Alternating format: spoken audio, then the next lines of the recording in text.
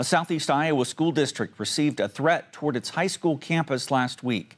KTVO's John Redfield spoke with district leaders about their procedure to ensure the safety of staff and students in these situations.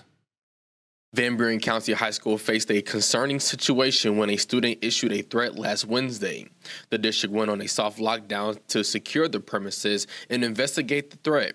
I spoke with Van Buren County Superintendent Jeremy Hissem about the criteria for involving law enforcement in such circumstances. Typically, we kind of err on the side of involving law enforcement, uh, but uh, occasionally there might be, you know, depending upon the severity of the threat, uh, depending upon the age level of the student, uh, depending upon other factors uh, that are at play uh, that our team knows about. But we're always going to err on the side of safety and uh, probably involve law enforcement. While every threat made to a school is treated with the utmost seriousness, when the threat originates from a student, various factors influence disciplinary actions, determining whether the student is sent home or allowed to remain in school. I think most importantly, the message that I try to send to our team is that you know, in those types of situations, always get two or three opinions before you make a decision. So, for example, if if our counselor has Uh, is talking to a kid and, and there's a threat, well, obviously there's confidentiality with that. However,